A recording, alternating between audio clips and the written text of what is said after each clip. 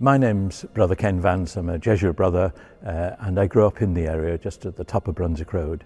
Uh, I left Liverpool at the age of 18 and I came back about 20 years ago and was administrator here at SFX for 17 years. Well, uh, St Francis Xavier's was in fact the largest Catholic parish in England and Wales uh, in the 1950s.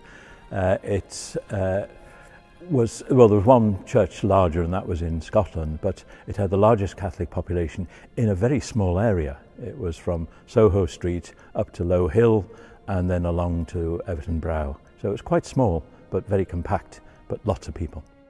My sister was born on the 12th of July uh, and we lived at the, the top of Low Hill. So it was a mixture of Catholics and uh, Protestants up at that end. But uh, it was an incredible time because uh, the Sundays leading up to the 12th of July and afterwards were quite tense in the area. The build-up uh, on the Sundays before, as you know, there was the opening of the book and so on. And there'd be masses every hour on a Sunday morning here, but the 11 o'clock mass, which is a solemn high mass in Latin with a choir, uh, that was the, the uh, time when the lodge marched up along on Shaw Street. And normally in those days, mass was in Latin, but the final hymn was always in English, and it was either Hail Glory St Patrick or Full in the Panting Heart of Rome, two triumphalist hymns, and everybody sang with gusto. If 12th occurred during the week, we were asked to come in by 8 o'clock. The lodge normally marched after 9, you know, after the rush hour, so to speak.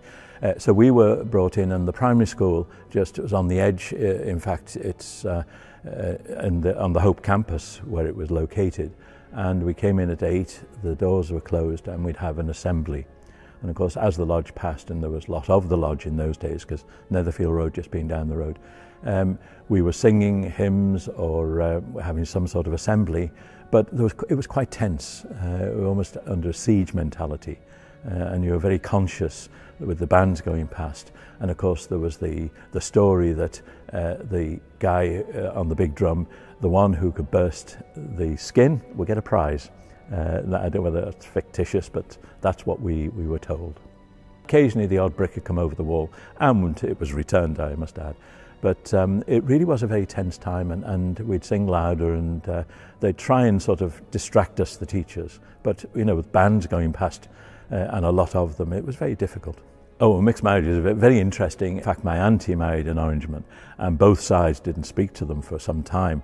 Uh, finally, there was reconciliation. And in fact, when my uncle, who was the Orangeman, died, he was buried up at St George's, and there was a kind of reconciliation afterwards at the Dairy Club when they lined up a load of whiskies for me, almost saying, you know, we've, we've laid Uncle Teddy to rest, but also the bigotry.